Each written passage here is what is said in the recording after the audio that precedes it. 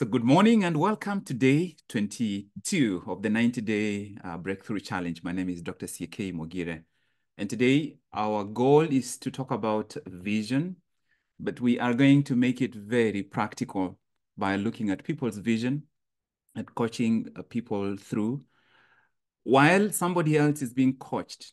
Any question or exchange or dialogue, conversation that goes on between myself and the person, or if I have more than two people, put yourself in their shoes.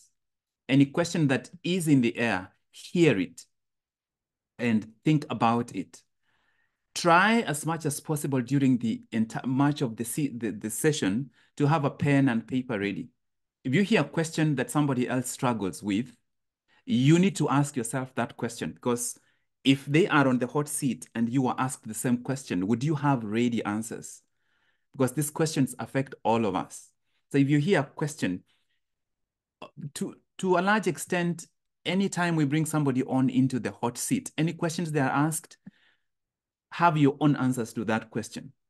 You will also in a way already be in the hot seat reflecting through that and so what you're seeing here are the daily intentionality commitments and this is critical pillar in uh, my next book whose title and revelation you will see in a couple of days. It contains chapters that end with very targeted reflections. So the reflection segment is separate and the commitment section is separate. What you are seeing comes from the commitment section. Every single time you set a goal, the first step to find out is at what level are you setting the goal? Are you setting the goal at the point, the level of trying to alter your identity or to adjust your beliefs or to release more of your capacity or to control your behavior or to change the environment? Or are you setting the highest level of goal to connect with meaning and purpose and why? And those are six different levels at which you can set your goal. That's the first question you have to answer. The commit to awareness in terms of awareness. Where, at what level am I setting this goal? This vision I'm pursuing, at what level is this vision operating? Do I have a vision about the kind of capacity I want to release? Do I have a vision about the kind of behavior I want to manifest? Do I have a vision about the kind of person I want to, to become, which is at the level of identity? Or do I have a vision about the kind of meaning or purpose or impact or legacy I want to leave behind? And those are all the six levels. Awareness, that's the first step. Secondly, is there something that I need to learn? What do I already know that makes it possible for me to fulfill this vision? Sometimes we set visions that for which we don't have the knowledge but we do not have create a plan to acquire the knowledge to make it possible for us to achieve the vision. And so your com second commitment level comes to learning. What kind of learning is it going to take? Is it learning a skill or acquiring knowledge or learning a new attitude or a new way of showing up or learning a new way of being, learning a new level of energy, how to activate a new level of energy, or learning how to deal with fear, learning how to accept and deal with rejection. The next level is committing to change. Wherever you are, when you have a vision that is grand enough, there is a gap between where you are and what that vision is. What change, what amount or quality or quantity of change is it going to require for you to go from where you are to the vision that you're trying to get to? And if you do not have specific com commitments with regard to how you will change, because if nothing is going to change in your life, it means you will continue to manifest what you have already, already always been manifesting. But if you're going to move to the vision, which is farther ahead than you are, higher above than you are, deeper than you are, then you have to change to be able to fit into that environment. The next commitment, number four, is commitment to action. What specific actions are you going to take to get there? And this has to be broken down to specific actions. It is not I am going to acquire customers. No, it's not I'm going to to increase sales. No, what specifically are you going to do? And we will reiterate this at some point, but the next one is resilience. Every single time you set out to achieve an important goal or to pursue a vision, if you don't face obstacles, you are coasting. If you are in water and you don't have to paddle, you are either dead and therefore you're being swept down or you're just coasting and the water is just carrying you. You are not going anywhere meaningful. It's only fish that are dead that don't have to paddle because the water just carries them. You are going to face res resistance. You're going to face obstacles. The obstacles serve to make you stronger. They develop your resilience. Are you committing to resilience? In other words, you are committing to the kind of person you will become as a result of facing the obstacles, which means the bigger the obstacle, the bigger the obstacle, the greater the resilience you're going to develop after you overcome it. So that when you set a goal and the goal means something to you, it's valuable enough, enough for you to pursue it. When you meet an obstacle, it's not an obstacle, it's an opportunity because it is going to squeeze out of you all the juice and honey. It's going to develop the most valuable quality, resilience in you. How are you committing to your resilience? By identifying the specific obstacles that you're going to face, the obstacles that you will face, and therefore what you will do about those obstacles. The next commitment is commitment to reflection. This is one of the biggest gaps that in, especially in the education journey of most people, people go through an entire education journey from all the way from primary school, high school, university, uh, master's, PhD, but they have never reflected one day. They have answered questions, they have answered exams, but they have never reflected. In other words, the experiences they have have never become insight because reflection is what transforms your experience into insight. How are you becoming better? How are you becoming more insightful as a result of, of developing awareness, finding resources to learn from, changing so that you begin to see yourself in a new light, so that you can tell that you have actually changed and how you've changed because you chose the change. It didn't happen accidentally. If you wait for the environment to change you, it's going to be painful. You change intentionally because you know where you are going it the reflection is what allows you to see all this, these ingredients. When you reflect, you are able to figure out how, how, what is my attitude now compared to when I started? What is my knowledge now compared to when I started? How am I different, in other words, changed compared to when I started? Which of my actions are more effective now compared to when I started? All these things come to you as a result of effectively reflecting, reflecting on how more resilient am I now? How more comfortable am I with obstacles than before I started? And then, of course, finally, accountability. It's if I would give our coaching group a grade on accountability, I think we are probably doing a very strong D plus right now. Very, very strong D plus, which is which is an improvement we can't have 40 people in a group that have actually paid for breakthrough, but like David, they don't show up to the field consistently to fight. It's and I, I do not know how to portray this as probably the single most important thing you will do this year. The single most important thing you will do this year to show up in an environment that requires you to reflect every single day about what is going on internally. So that, like I said, you don't continue showing up with Madara, you start showing up with your A game. I don't know how else to emphasize it, but we'll leave it at that. Accountability. Accountability through connecting with a mentor or a coach or a peer who is headed in the same journey Accountability is where you need people with common values, not common interests. Common values so that if you agree that you and I will be doing our daily reset, you do your daily reset without fail. Common interests, common destiny, not common history. If you have this common history and common destiny, then that is good. If you have common interests and common values, then that's good. But what takes precedence is common values and common destiny. So this, I would like you to keep this in mind. And now we will proceed with getting some people on the hot seat.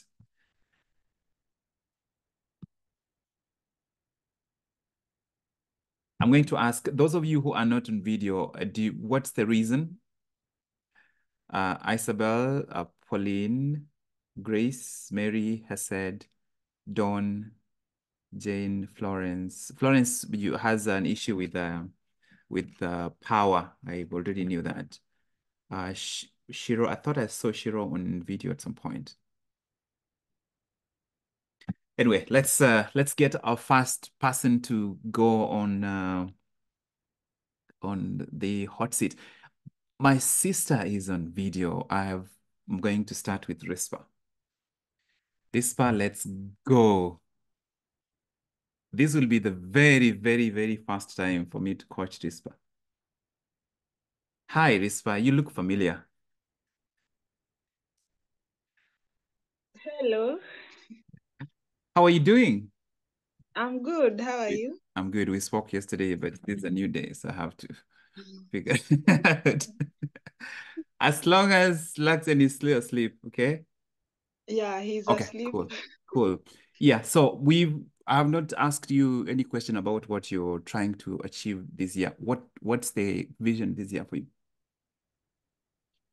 Yeah, my vision this year is uh, in uh, three years' time, I see myself living within the purpose that I was created for.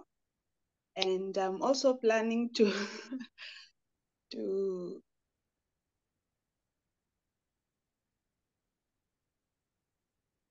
to change my career path. Okay. Yes. It's you're making this very difficult because I already know some some of that. But why?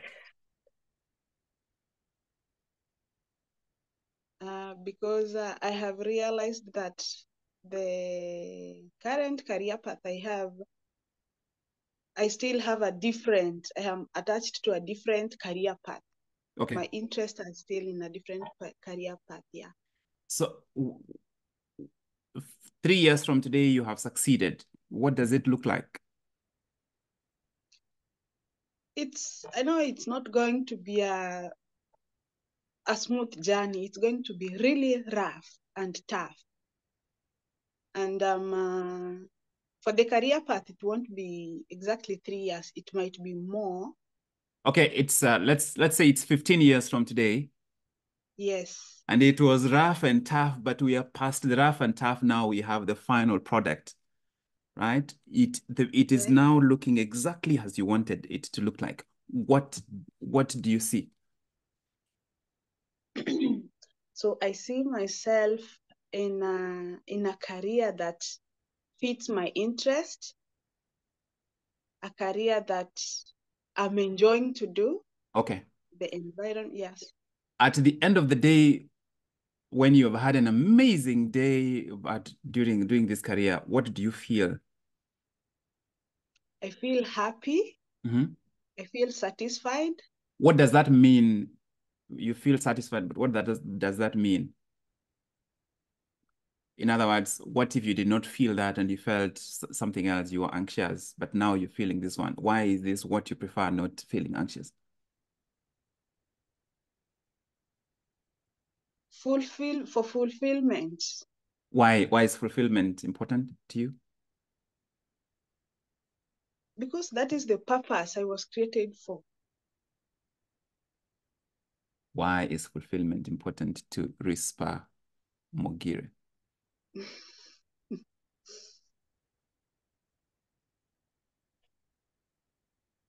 Mm.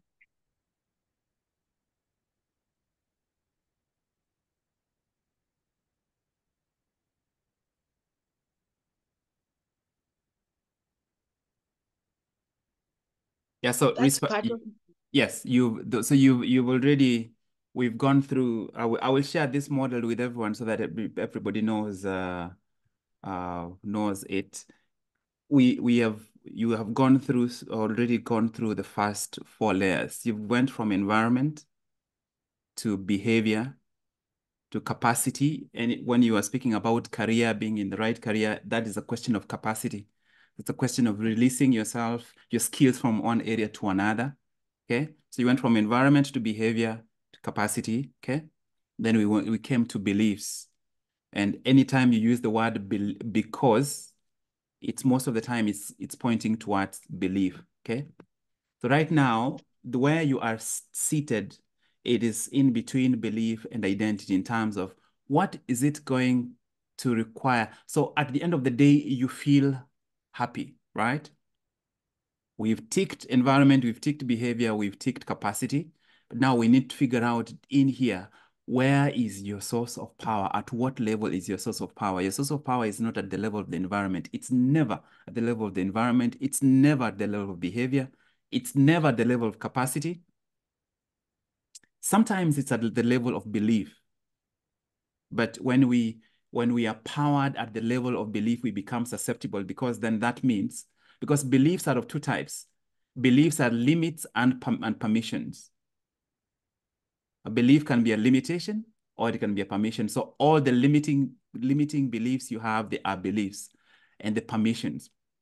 But so as I talk to you, you have already, so you've exhausted everything that your mind is going to respond to. So from this point, and if it, you feel like it's something you need to go think about and and reflect on to see what, what clarity you get, that will be fine. So you need now to find the answer either the level of identity or deeper than that. It is it is 150 years from today, and people are telling a story of uh, uh, a daughter of Mogire who lived in uh, in Mombasa for 40 years and left an impact. What will what would people say that if you had if you would you that would make the most that would be most valuable to you? What are the one or two things that you would want people to say 150 years when you are long gone? that I am part of the change or uh, I'm part of the people Mhm. or let me talk about my life. My life has an a positive impact on the society or in the society. Why is that important to you? Mm. After being awareness of my identity, I'll be happy and fulfilled to see a generation coping or talking about my life or the impact I had in their Yeah. life. Yes. Yeah, it's you. You're you're doing amazing. I'm going to allow you to get off the uh, hot seat, and this is going to be something for you to think through. And this is this is uh, a question I grappled with for a long time. And uh, you've you've you've seen my life the entire time from 2010 when I was working in Kikuyu, when you guys went to Kakamega, and you know at what point my direction changed very, very suddenly. And that's because at that point, I answered that question. And uh, I would like you to answer that question in the context of this group rather than me trying to work with you directly so that then you find other people in here that will that will help you and you can work with as as peers right Okay. well thank you i will get you off the hot seat and get someone else could we give a round of applause to Rispa Mojaire? I've been called Mojaire today almost 10 times. right. Thank you so much. I'm going to get uh, Eunice Muturi if you are on. Yes, Eunice. Good morning. Hey, Eunice. Good morning. I am going to pin you up. All right. So let's speak with you, Eunice. How are you doing today? I'm well. What is the single uh, most uh, insightful thing you picked in the Breakthrough Challenge since you started? Intentionality. Uh-huh. It's a term that I didn't, I didn't know, but then as we go along, Yeah. Uh, in my simple understanding is that intentionality is what I decide to do and stick with it. Yeah. And I every day I think about it, and I and as we go along with the challenge, I'm surprised that what I need for me to change and to move to the next level is just something within me. Because I can decide, I have the ability to decide and stick with my decision. Yeah, it's what's something is happening to your phone. Are you uh, it's producing some scratch scratching sound. Or maybe let me try to be a bit more still. Is Yes. it better now? Yes, it's better. It was scratching. You say you've said something extremely important, and it's uh, it's it's some. Please write this down and write what uh, Eunice has said, and actually think about it. That everything you need is within you, and write it in first person because that is the truth. One of one of the ingredients we ignore is that all the positive emotions you're trying to achieve or experience you already have experienced them, except some of them you experience them subconsciously or distracted or superficially. You have laughed, you have been grateful, you have been confident, you've been courageous, you've been bold, you've experienced all these things. If I asked you what fear feels like, you know exactly what fear feels like. But if I ask you what courage feels like, your body doesn't produce it automatically. So you have those experiences. The question is, how can we magnify them? The body automatically magnifies fear. It's if you have a presentation coming up, your heart rate just automatically goes to the 90s to the hundreds all by itself. So I that's I, I want to make sure that we don't miss that. Ev everything I need is within me. Everything I need is within me. And that connects, allow me to just say one or two things about the last topic that I shared as an audio. Everything I need is within me, right?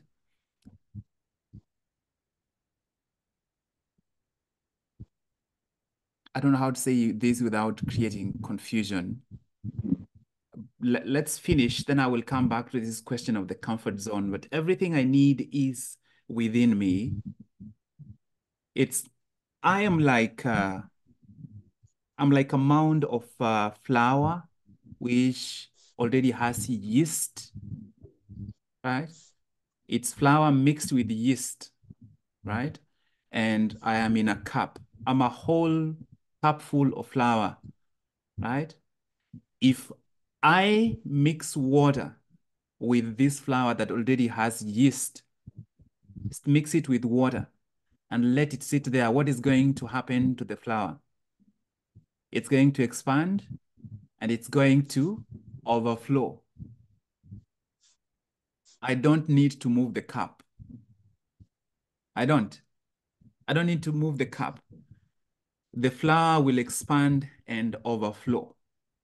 The flower will go from being contained within a cup to continuing being contained within a cup, but going beyond the cup, such that the cup never leaves, the cup is still there. When you boil milk, it's the same milk. It is the same milk. What's the difference? You raise the energy of the milk to the point where the milk overflows. And that's because you changed the energy of the milk. Your comfort zone is not a problem. In fact, if you didn't have your comfort zone, you would be crazy. The question is, are you doing everything you can within your comfort zone? Uh, Could I please uh, promote one of you? I can't find James. I'm going to promote the next person I can find. Who may anybody that may be able to. Domintira, could you uh, be our co-admin today, please, co-host? And if anybody unmutes and if we hear any background noise, please mute whoever it is. I've made you a, a co-host. Your, your comfort zone, without your comfort zone, you would be crazy. Your, your comfort zone is where you grow your roots. The problem is not your comfort zone. The problem is that you have live in a comfort zone, you live in a small comfort zone, but you also act small. How do you act small? You are not doing everything you can within your comfort zone. Have you ever bought any books that you could read, but you haven't read and they're hanging on your shelf? Are you waking up and utilizing all the time that you could wake up and utilize? Are you utilizing your transitions? If you had a call or you went to the gym, from the gym, you come back home. Problem is that mm-hmm. you, in from one important activity to another, you pass through distractions. You're on a meeting or you're speaking with a client. Instead of going from speaking with a client to writing down, planning, you go through uh, social media, maybe WhatsApp. You, you use your transition time for distractions, which breaks your energy of concentration. So you go from concentration to distraction, concentration to distraction, concentration to distraction, such that you have been working, quote unquote, working for four hours, but 90 minutes of those four hours has been, have been used in distractions. And that's because you typed three paragraphs of the report and then you looked at Facebook. And every single time you get distracted, you lose up to 15 minutes before you can fully engage back in what you are doing. So the problem is not your, your comfort zone. The problem is that you are you're in a small comfort zone, but you're also acting small within the, comfort zone. Are you moving consistently? Are you exercising as much as you can? Are you eating as healthy as you can? Are you getting enough sleep? In other words, sleeping on time, not finding yourself on social media on WhatsApp at 2 a.m., 3 a.m., or 4 a.m. in the morning, and then ending up waking up late. You you you need if if you can take full advantage of everything that is in your comfort zone you are like that flower. You will automatically overflow such that the comfort zone does not limit you. It allows you stability. It allows you predictability. The single most powerful need that we all have is the need for certainty which is the foundational need. If one of you or any of you today here, if you woke up this morning and you found that your house has moved to to uh, South Nigeria, it is now in Port Harcourt. You wake up and everybody around you is speaking uh, Igbo, you would scream. if you wake up in the morning, right? You wake up in the morning, you go to, your living room, and you, then you find two hyenas and one elephant and one crocodile seated there. It's you would scream you without that stability, you would never be able to grow. A tree grows because it's planted somewhere, it has roots in the soil. In other words, it has stability. When the wind blows, the roots it has established allow it to, to, to tolerate the wind. The problem is not my comfort zone. The problem is that I am acting small within my comfort zone. If I start to make use of everything within my comfort zone, I will automatically overflow and create a new comfort zone. The goal is to expand and create a comfort zone that contains more. And that happens after my flower and your flower expands and fills the cup. It has to fill the cup first. You have to fill. You have to be effective to the most you can within the comfort zone you are in. And then you will automatically overflow and include more eh, more experiences. The milk goes from the sufuria to to the gas to the floor.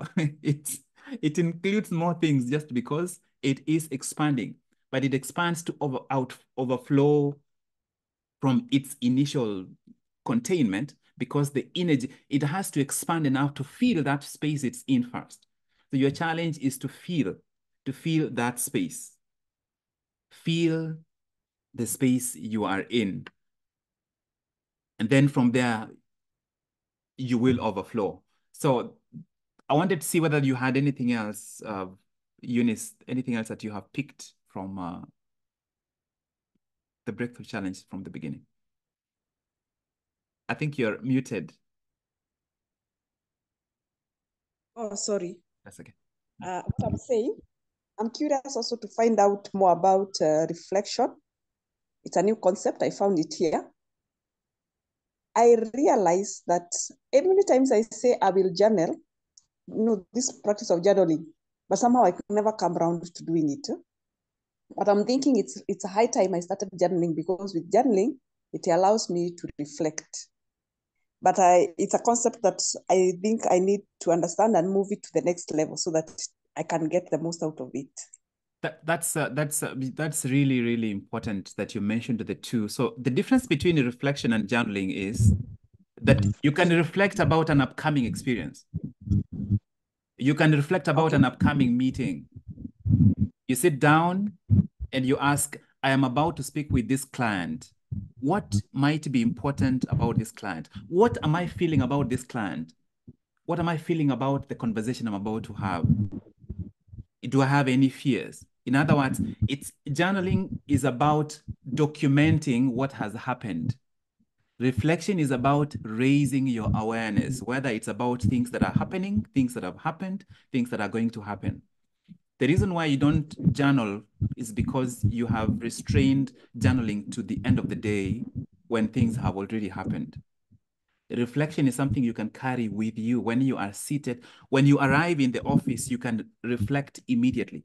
What am I feeling? What do I remember from yesterday? What am I concerned about for the rest of this day?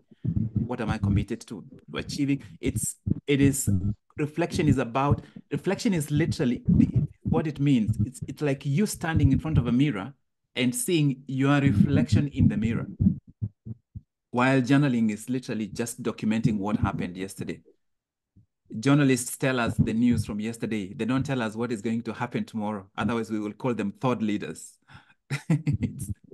So you reflecting means you you don't leave your reflection booklet at home. You carry it with you, and you can reflect anytime. Sometimes instead of going onto social media, especially after you've had a meeting, or you're about to go into an important meeting, or something important has happened, you can reflect about it. What do I think about what has happened? So that your your thoughts you you don't just contain them in your head you express them out. And it raises your awareness. I hope that difference is clear. That journalists tell us what happened yesterday right? The mirror shows you what is happening right now when you go to the mirror you see what is currently going on and that is the goal to raise self awareness so let's now speak about where you are going. So, what is your vision for 2024? Okay, that's a tough question. Now, I have been in an interesting space. Left uh, former employment many years ago, but somehow never quite found my footing. Uh, and I feel like uh, I can't go on like this. And I think that's the reason why when someone sent me a link to join this group, the previous one, and I just listened to the first audio where you are saying about I'm doing a great work and I can't come down. That is the first thing I ever had. I had never had anything like that before. Something, an awareness, I mean, a curiosity was created within me. And I said, maybe this is the opportunity or this is the vehicle Yeah. that I can use to be able to change. Uh, I, for the last 12 years, I've tried many things, but with no clarity. And I have found myself just going around in circles. So my vision for 2024, first and foremost, currently I am um, I'm in network marketing. Yeah. Is I think I have specific goals of what I would want to achieve in that space right now. One of them is that I've been in that space, but with nothing to show for it. So my goal this year is make real progress that I can tell people about, that I can show, that I have.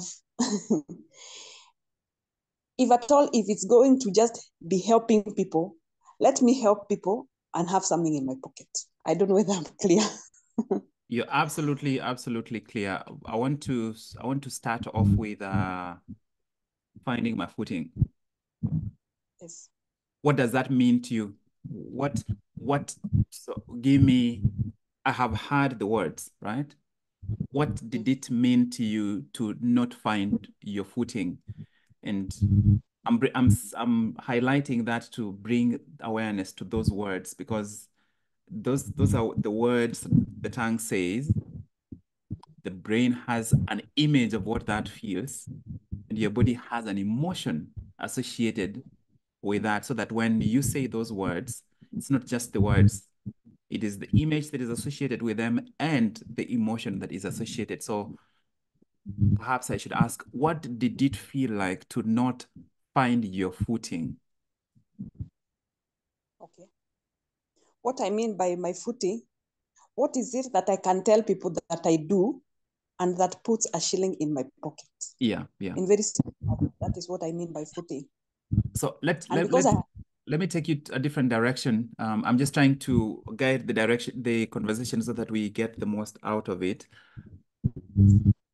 T tell me the, you said you've tried several things. Can you tell me the things that you've, you've, you've tried in the last 12 years? Just go quickly. One, I tried to run a cyber cafe.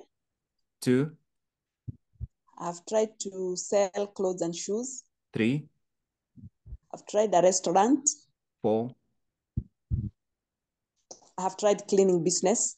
five, I have gone back to work three times. six. And now I am in network marketing. Okay. So this, you tried these things. Which of these things did you do? I've heard about the ones you tried. Which one did you do? Okay. All right. Maybe none. Because I didn't do them for long enough. Which of these things did you go into with Mm. no uh, plan B? Did, did you do any of these things concurrently No, at different times. at different times? Okay.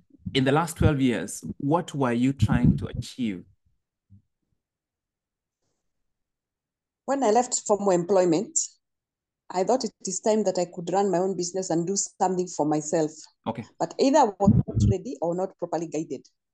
What were you trying to achieve by, by I'm, I'm, I'm trying to figure out what the driving force was. What were you trying to achieve?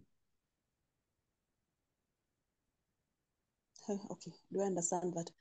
What I was trying to achieve is be able to be able to do something for myself that is outside formal employment. Yes. Okay. So you've formal, we know formal employment is out. You're out here. You are mm-hmm. active over these 12 years. You're trying different things, right? All these different things, you try different things because the goal does not depend on the goal is the, the end point is the same. The pathway can be different. So you try different pathways. What were you trying? What was the goal?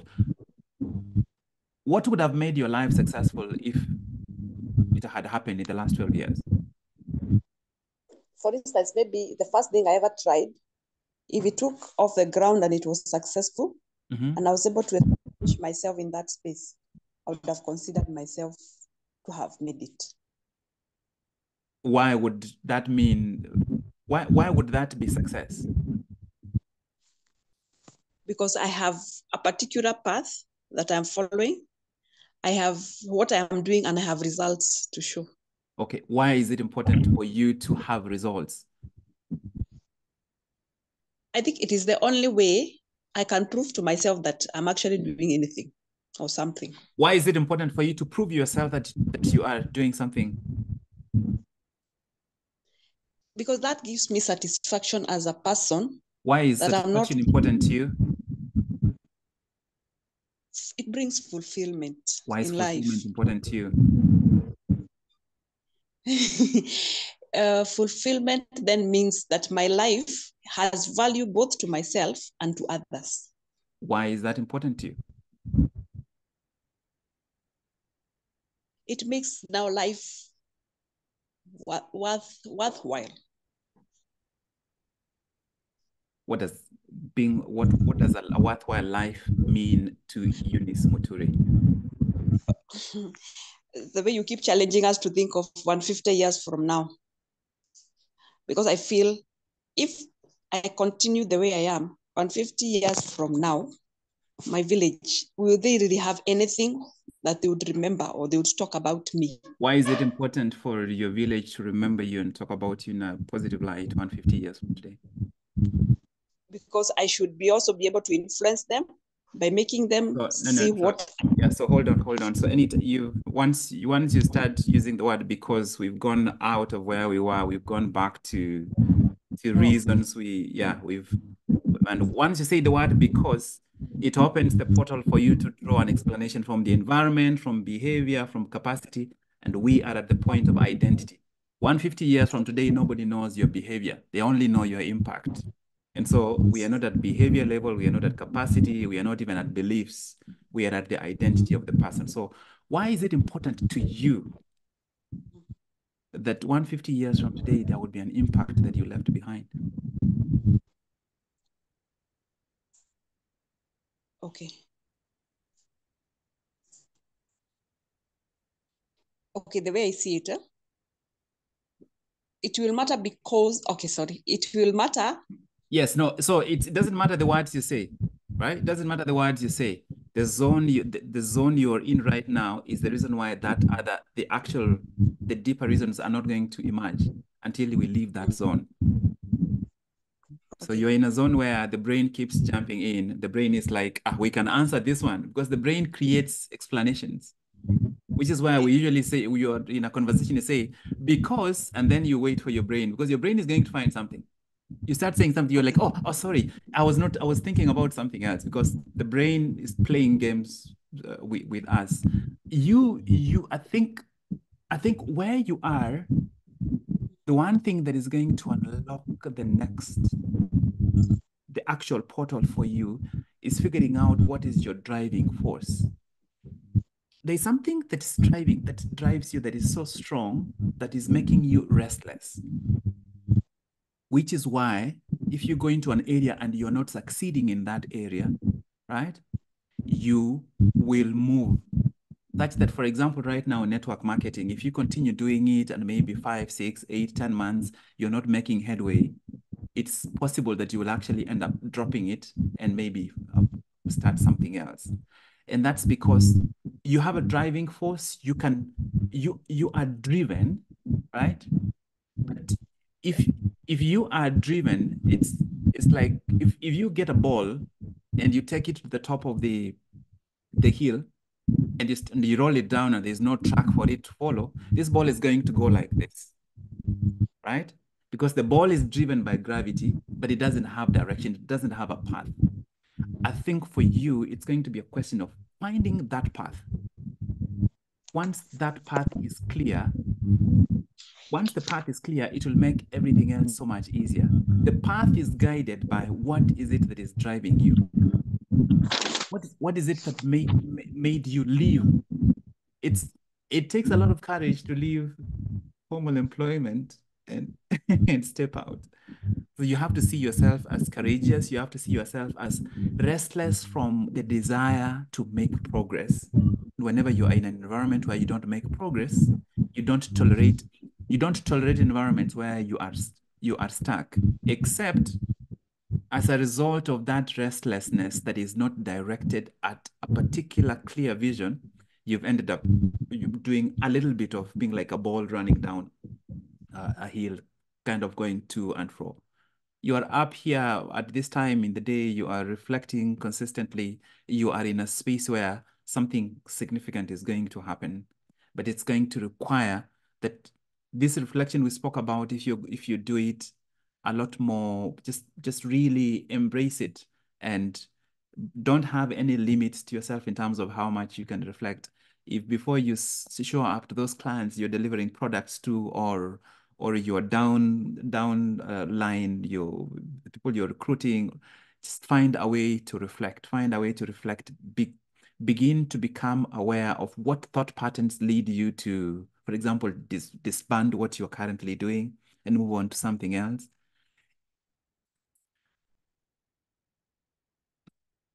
Question for you. Have you since you started doing network marketing has there been a time when you it th things felt so bleak you felt like walking away? You're muted. Many times. many times. Many times. can you tell me an example when you felt like that Okay. Mostly in the time trying to recruit uh, a member, a new a downline. Yeah, yeah. They give they have given me hopes. We have even agreed they are coming to make the payment. But somewhere along the line, either they stop, especially they stop picking my calls, Yeah. they stop responding completely. Yeah. So the those are that's what we call a no. When you get a no, when you get a no, it is feedback to your strategy, not feedback to you as a person. Okay. Every no is feedback to your strategy. Every time you, when it's, I'm, I am now in medicine. If, if I moved back to Kenya and opened a clinic as a cardiologist, right? Everybody walking in will be saying yes to me. Everybody not coming is saying no to me. The challenge of network marketing is that the people who need your services don't bring themselves to you. You have to find them and create demand. That's that's the challenge. And sometimes we are creating demand for something that people don't feel uh, they need as much. It is the same challenge I have with the work of the House of Mastery. The people who most need to be coached, they don't think they need to be coached. Sometimes people come to me for coaching on public speaking, and then we figure out they actually need to do a lot of healing. They need to unclutter a lot of emo emotional baggage. And once that is done, then public speaking becomes easy, right? So that's the challenge you are facing. I do not know whether what other skills you have. Uh, this is this is my my personal view. I I did network marketing with GNLD for about eight months while working as a physician in Nairobi, right? I went into network marketing not to make money. I went to network marketing so that I can have public speaking audience. I was delivering four, five speeches every day because they were just one floor below us, right? I was I was using the audience and I was there. I was like, I'm the one in my group, I'm the one giving the motivation, I'm, the one speaking. I'm like, John Maxwell says discipline, commitment so um I used it by the time I was working with AAR Medical Center at uh, ICEA Lion in town on Kenyatta Avenue, where GNLD was. by the time I, I quit GNLD, my public speaking had gone from here to there because I, I got comfortable speaking to audiences that are bored, audiences that are excited, audiences that are noisy. Sometimes you are in that little corner, you're speaking to five or eight people, and there are 10 other people speaking all over the place. I became so comfortable doing public speaking that it doesn't matter where you throw me. I'll be like, oh, okay, which, which ones, which group do you want me to speak to? Use it to develop the skills you need. Use it to develop the skills of, of communicating one-on-one.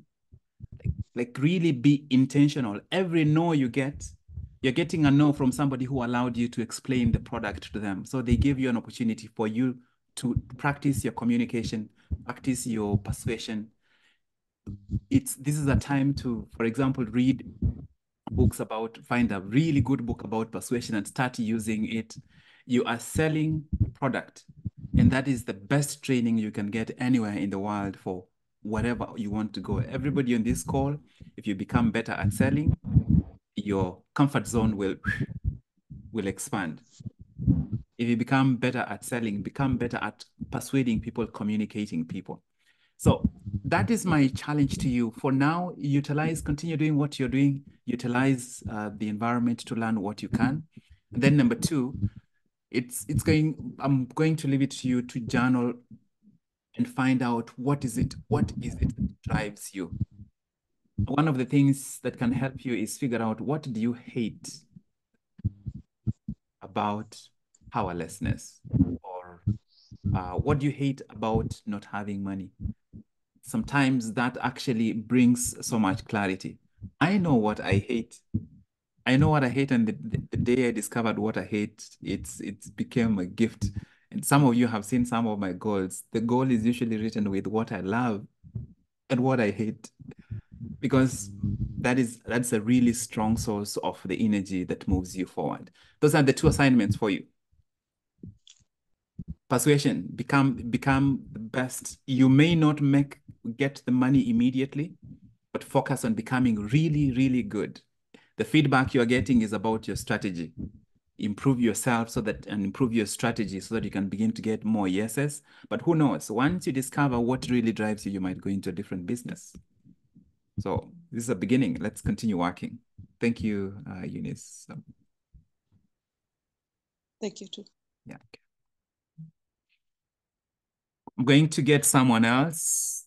And first of all, um, I want to see whether there is any question or any reflections, anything uh, of the people that are on. We have 35 people here.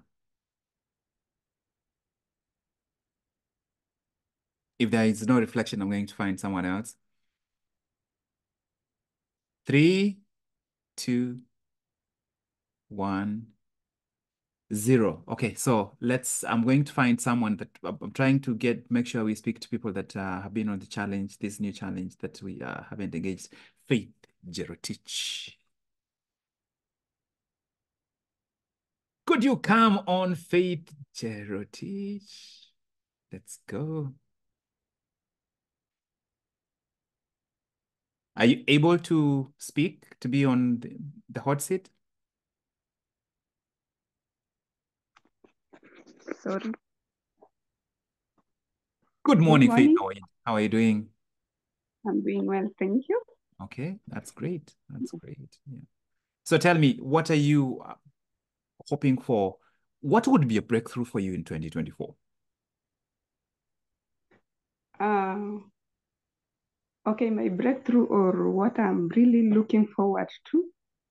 Uh, but first, let me say this. Uh, when I joined this um, Momentum Challenge, though I joined it later, Yeah, yeah. uh, actually what I've picked or what has assisted me much in my life, my personal life, is about uh, picking or taking the negative energy. Whenever I go, wherever I go, if somebody talks uh, badly to me, actually I don't keep it. It comes and it goes, and that has really given me peace in my Yeah. life. Yeah, and it has helped me a lot in um, with with dealing with people.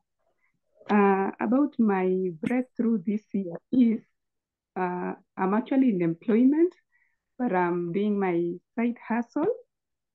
And um, for this, what I want this year is I want actually to have a fully functional uh, company. And that is my side hustle right now. What's I your business in? Yeah, I'm dealing with uh, uh, PPE safety products. Yes, Who are your clients for for the product? uh, Who are your clients? Who do you sell to? yeah, I sell to private companies and even public companies. Okay. mostly logistic firms and uh, yeah currently most of my clients are the logistic firms but it's part-time. Are you doing the done it full- business or are you doing the business or are you trying the business?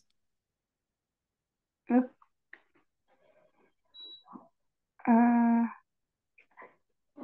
i am i can't say if i'm I, i'm doing it because this is what i want to do. Faith Jerotich, are you doing the business or are you trying the business? i am doing the business Okay. How do you know that you are doing rather than trying? because uh, because this is when because this is what has been um, it has been paying most of my bills monthly bills and uh, I engage a lot with it even though I'm in employment but I find most of my time doing it and uh, at the beginning of this year actually I've gotten someone to assist me I can and uh, that one has made me see that uh, I'm moving somewhere with it Okay. What obstacles have you faced in the business? Uh, the obstacles that are faced is that uh, first is the financial issue, and secondly is um, Let's speak about that. Can you tell me what that means? What, how is that an obstacle?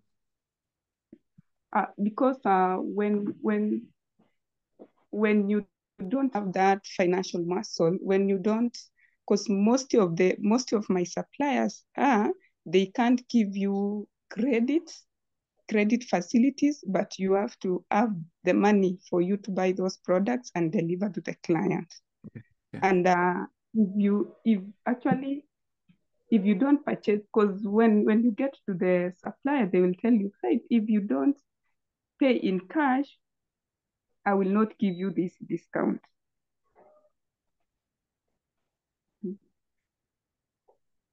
I'm listening. So for that, that's uh, a big challenge to me in finances wise. And also, do I move to another item? It's so tell tell me your perception of this business. Why why this why is uh why do you think this business is going to succeed? Uh let me go back. My field is the, what what what I studied or what Yeah. I did at school is uh it was about procurement. Procu- Okay. Yes. And uh, I did procurement field and I was employed in procurement up to, let's say I did like three years in procurement. Yeah. Then I was moved, I was moved to another department, that's finance. And in finance, that actually I was going, uh, that was not my path. But um, my path was in procurement and I saw it like uh, I've distracted my career because I'm not moving. When I move from this company, I will not be able to get any procurement job or any finance job because in finance, that's what I, I can't show in paperwork that I've done finance at school. But I've took it so positive that in this finance field, it has helped me a lot, especially in doing my my accounting to my business, actually making those cash flows, the bookkeeping, uh, I took it positively, even though it has diverted my career, but it has also helped me in this business of mine. Did it divert your career or did it enrich your career and expand your career? Yeah, at first, I thought it has diverted my career, but I've, I took it positively that it has enriched it because it has helped me understand this other side. What is what is your career? Procurement. Nope. Mm.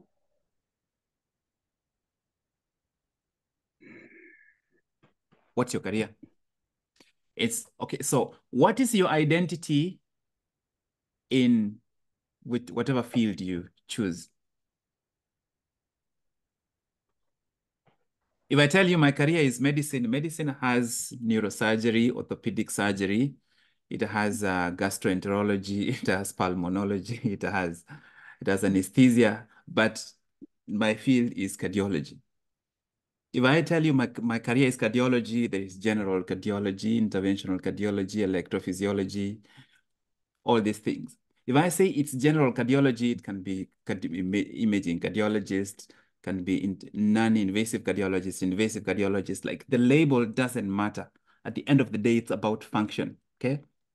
And the reason I'm asking you that is you carry the same attributes across. The attributes you have in whichever area, especially when you start a business, you will carry those attributes with you. Entrepreneurship is tough, but entrepreneurship is the ultimate test of who you really want to be. And I asked you about the challenges you're facing. We just specifically mentioned about uh, that that one uh, one challenge. I wanted to look at those seven questions, the seven commitments, the intentionality commitments. Okay. Mm -hmm. Look at those seven intentionality commitments. In this field where you are building the business, right? how aware are you about your perceptions, the perceptions that are influencing what you are doing? So, for example, is it absolutely true that you have to have financial muscle for you to succeed in a business to business kind of environment? Because you're essentially doing business to business because it's your business. You're not selling to individual customers, you're selling to other businesses. In other words, it's you you if you are doing this business, you need to actually sit down and explore what are your perceptions and attitudes about this business, about the opportunities, about the challenges. What are your attitudes? And that's why I asked you, do, why do you think this business is going to succeed? Number two, what do you need to learn? What are the areas, what you, you've been doing this business for a while, what are the areas that you need to learn so that you can actually have a structured way of growing in that area? If you are looking at doing this business and it's paying bills, then that's going to become extremely important. Number three, change. So it's applying that framework so that every single month, by the end of each month, you are no longer the same person that started at the beginning or the, the same person you are today, one month from today, as a result of reflecting in this business. Who knows, Faith? May, maybe five, six months today, you're going to get a different idea. But because now you know procurement and you know finance, you will show up a more a, a more expanded person than if you just showed up with procurement. You are like, what you, you need bookkeeping? I have no idea about bookkeeping. I think the three three ingredients in business that are extremely important, it's procurement, which you can function as a successful business person without knowing, but definitely you have to know finance and you have to know sales. So sales and finance. So if I was to disrupt your career, after you've you've done procurement, you've done finance, I would take you to sales for the next three years. So that at the end of those three, those nine years, now you are rounded in each of these areas. Your career is not procurement. You are function, you are serving a function there, right? And mm-hmm. that's why you've been able to succeed in this other area mm-hmm. as a person. What do you feel has been your strongest advantage in in doing this business you're doing, the side hustle you're doing? What has been your biggest weakness?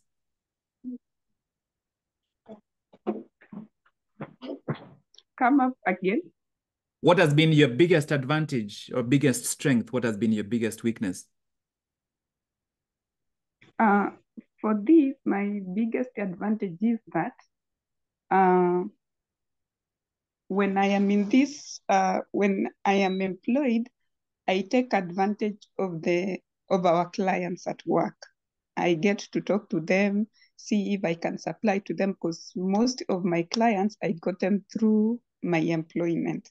So while we do business with them in my employment field, they've we've actually created this this other relationship that uh, they've helped me a lot in my business building.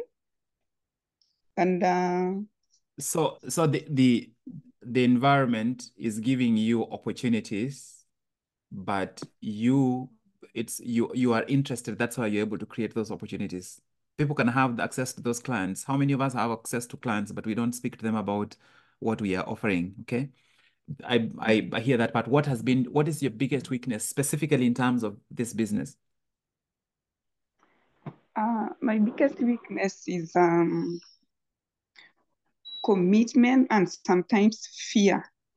You fear, I fear maybe if I go to this client, I might not have the right word, words or the right uh, marketing terms to convince this client to, to partner with me or to make me one of their suppliers. And uh, I think what I've been struggling, because what I want is uh, I want to to to be able to maybe import some of these products to enable me actually have this network or to enable me market well this company. So that has been I've been struggling with that a lot. I don't know where to start. I think that's that opens up uh, um, a very big conversation we can't finish right now. Uh, so he, here is my perception, and I would speak to you if, if I was coaching you directly, right? If I was speaking with you uh, directly, that you this is a business you are taking, uh, you are doing because of the opportunity that was presented, that it became possible for you to do it because the environment supports it I wonder whether you would still be able to do it if the environment did not provide you that opportunity. But for now, in my view, is look through all the seven ingredients on the intentionality commitments, right? Mm -hmm.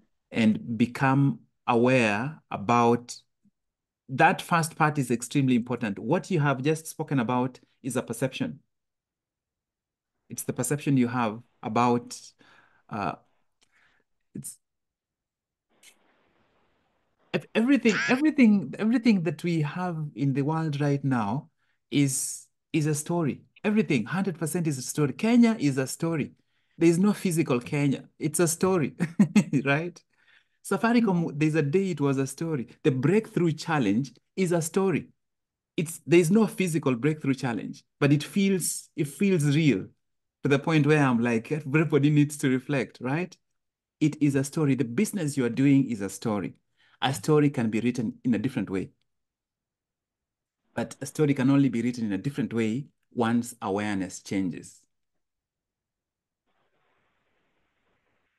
I don't know whether faith, if you if if you're getting that, if you the level of awareness, your awareness changes, the story that you are telling will change. You you are doing this business, but you're not yet doing it. It's, I hope that it's, I'm not accusing you, I'm just telling you my perception is that you're, you're doing the business. You, you're doing the business, right? You're doing it. You are not doing it. And that attitude of doing it is going to require you to raise your awareness. Become aware about your perceptions. Figure out the areas that you actually need to learn. There are a couple of things you probably need to learn. Maybe there are some new products that other people are not thinking about that you can actually start supplying and and dominate, right? And then change. It's figure out what areas of your approach can you change. Perhaps how you communicate, perhaps, I don't know, you will figure that out. The actions you take, the and then reflecting, it's just find a way to apply this model specifically to that business and commit to writing, like responding to each of these and, and do that for at least 14 days. Every single day you sit down for 15, 20 minutes, and you actually look at the business and respond to each of these ingredients. I promise you, I promise you, in two weeks from today, you will speak and view the business very, very, very differently. And you never know what kind of doors that would open up. And most importantly, it's that awareness can be carried on to something else, anywhere, anytime. All right, Faith, thank you. I'll let you off the, the hot seat. Uh, let's speak with someone else for the remaining minutes, and then uh, we'll wrap up. It This thing keeps changing the order. It's I'm going to get a, get maybe two or three responses, then we we we get somebody else because sometimes I put it at the very end and then we don't have uh, time. Uh, will just call uh, because this is about business. I'm going to call Sylvia because she's in business, and then I'll call someone else.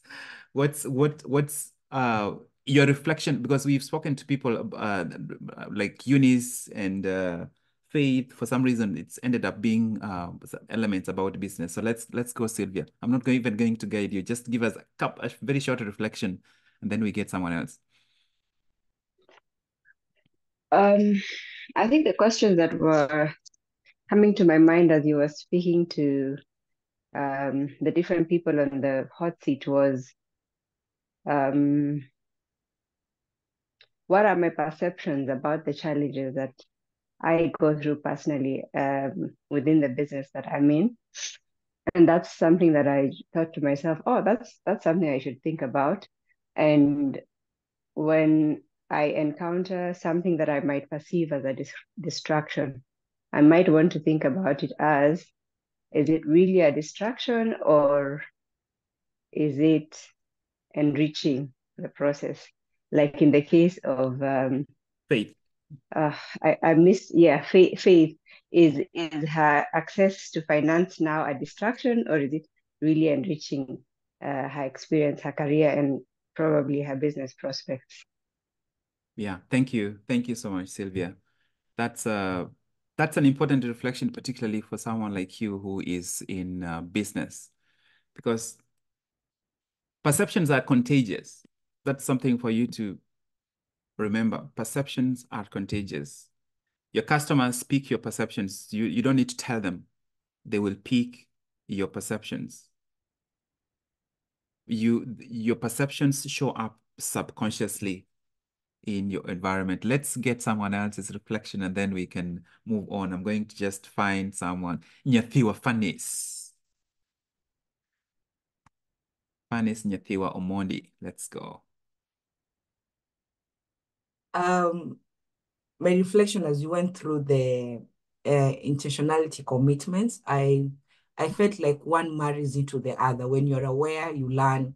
When you learn, you can accept change. When you accept change, you can make actions where needed, you know, and take actions where needed. And when you take actions, you become resilient on whatever output uh, on what you know like they say actions have consequences. So whatever action you take and you get the consequence you will be resilient to the to the to the to the action that you've taken and and and then you'll be able to sit back and reflect on where you want to be what you did well and what you can do better and be accountable to your peers and to your coaches and to you know everyone. That's that's that's what actually um, I can reflect about today's yeah today's yeah. session. Yeah.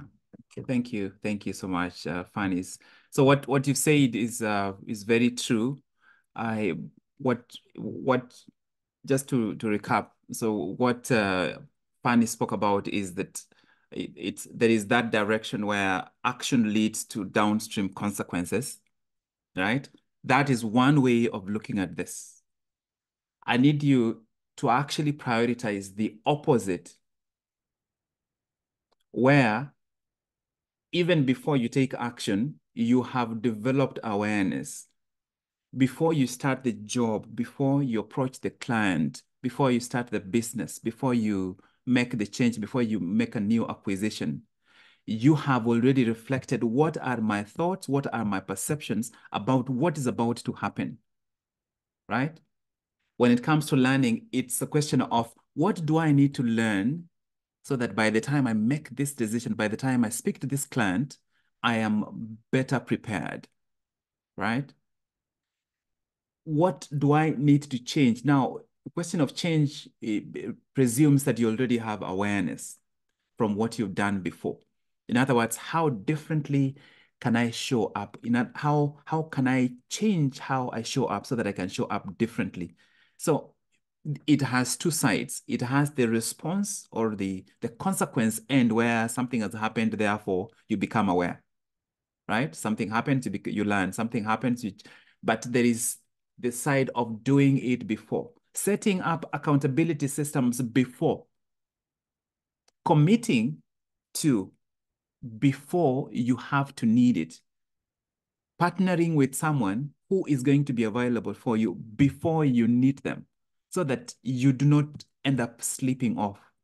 It, this is this is a this is a crucial they are called intentionality commitments because they are a component of intentionality you intentionally decide what you will do to raise your awareness you intentionally decide what you will do to enhance your learning so that your learning precedes what you are going to do.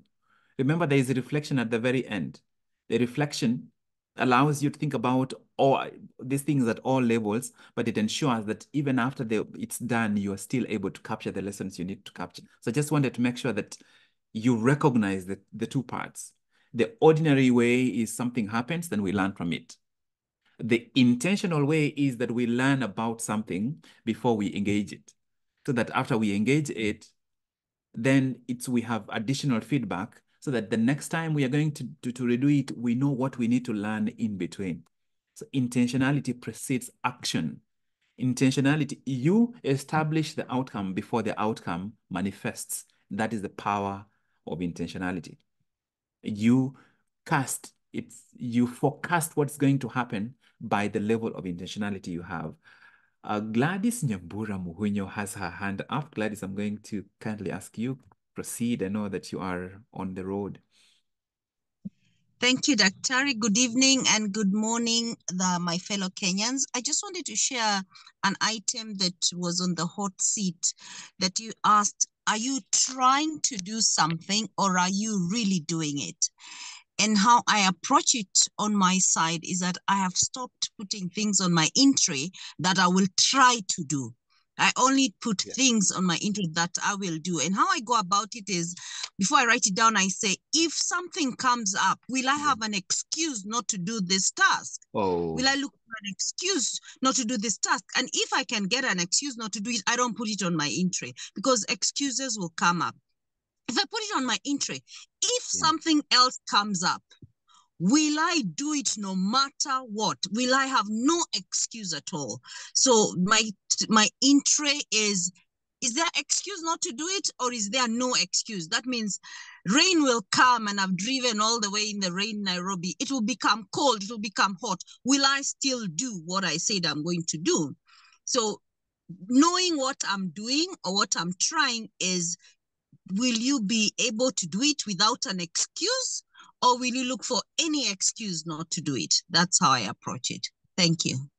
That is beautiful. That is really, really, really beautiful because that goes, Gladys, thank you very much. You just went straight to the commitment to action. The commitment to action is not committing to action after it has happened. You commit to action before. And so you have really, you have added a layer that uh, hopefully has clarified this to everyone. So you've spoken about commitment to action, you've spoken about commitment to resilience.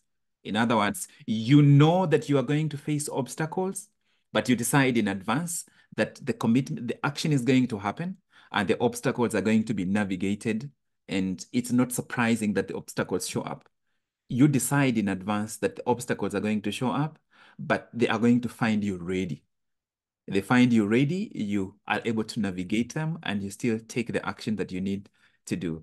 So this piece is probably the single most important addition to whatever vision that you are working on.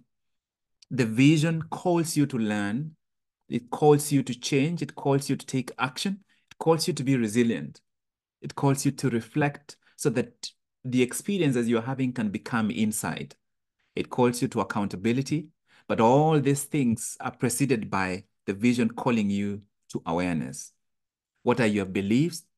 What are your perceptions? What are your uh, your biases and prejudices about whatever you're you're trying to do? Sometimes you're trying to sell uh, to to someone, and then they they are from that community, or they, they are from that country, or they went to that school, or they speak with that accent. And you don't realize that you have that prejudice. And that prejudice somehow, when you're speaking to this person, your tone kind of goes slightly differently than when you are speaking to this other person. I have ever worked with salespeople who are seated, you know, in, in a room making calls and somebody starts speaking with a, a, really high tone and then suddenly their tone lowers and they probably are not even aware about it. So reiterating awareness, awareness as an active choice you make. These are intentionality commitments. You, com you commit to awareness. Commit to investigate your own perceptions, your own mindset about what is going on, your own explanations, your own excuses. And if you forget everything that I've said about this, just remember the contribution that Gladys has given, just given us. That brings that us to 7.30. I want to see whether there's any specific contributions. My encouragement is uh, that uh, we, I dedicated this session Okay, Fanny's, I'm coming to you in a second. I dedicated this session for us to actually have um, an extended conversation. Please check in with each other and you, you can utilize that space to, uh, utilize that space tomorrow to to to converse, but most importantly, reflect on the timeline. Reflect on the timeline. I want to see whether there, there are any any questions before we close. Eunice, did you have a question? I see had you. requested if you I had requested if you could repeat the levels of the goal. Something you mentioned about change of identity, behavior to manifest. I missed that. So the um, that is that piece is uh, going to come in its entirety, but these are there. It's just six levels. They're called the six levels, the, the logical levels. The at the it's six circles, six concentric circles. The outermost is environment, followed by behavior, followed by capacity, followed by beliefs, followed by identity. And then at the center is purpose or why or source or meaning, whatever you want to, to call it.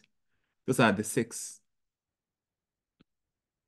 If you get lost in Nairobi, you can explain it based on any of these levels. You can explain it and say in Nairobi city is very confusing. So you are using the environment to explain it. Or you can say, I did not ask for direction. So you're using behavior to explain it. Or you can say, I don't do, I don't, I don't like cities. Um, I don't, I, I can't live in a big city. So you're using capacity. Or you can use beliefs to say, cities are so confusing. Nairobi, Nairobi is such a such a crazy city. You're using your belief. Or you can use identity to say, I always get lost. Me and cities, mm -mm. right? The level of using the why is is is much deeper. We generally don't use it. So those levels you can use everything every single time I'm coaching people. I listen to this and I'm like, I'm searching. So where are they starting from, right? And anytime I hear somebody starting from environment, I'm like, my work is cut out. we have a long way to go from environment to behavior to capacity to beliefs to identity, even before we go to, to the inner core. If you have watched the hot seat, it, and I would like you to be curious in subsequent sessions. People always move really quickly from environment to behavior to capacity to beliefs. And then if they go to identity, the brain keeps jumping. I think, I believe, I imagine, I expect. That is the brain jumping back, trying to reach to one of the other more comfortable layers, right? It's that's because now you're trying to break from beliefs to identity or identity to purpose, but that cannot come from your head. It has to come from your heart. You have to switch the source, but the brain doesn't want to let go. So the brain keeps trying to search. So those are the six layers. And that model is powerful. I use that model on thinking through things on my own, speaking to my patients. If if if a patient who is trying to lose weight comes in and tells me that the supermarkets are so far from where I live, we are dealing with environment. So it's, it's, it's going to be a long way from environment to identity where where we need to figure out what is it about you that makes you eat these kinds of food or or make the decisions you make right so having that model just it's every single time every every single time. My sister is not here but i know what level she mostly operates in. And i can't wait to see what happens in her life because i've i've seen how much progress she's made in such a time. Most many of you especially those of you submit your evaluations for the meetings i can i can tell you like this is where you're mostly operating from. And most of you most of you are at least at the level of capacity or the level of beliefs it's most most people who so it's from the momentum challenge and from the people in the larger group right with whom i had conversations who didn't end up joining this challenge from the moment we start ch chatting, I can tell that this person is going to join, this person is not going to join. I just need to place them. If their conversation is starting from environment, right?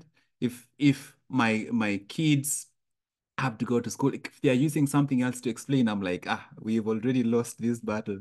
And I don't necessarily, I follow up one or two times, but that's it, right? If I'm following up with you about doing your assignments and it's, it's, it's the level of environment I probably would end up giving up. That would be it. This was meant to be a conversation and I hope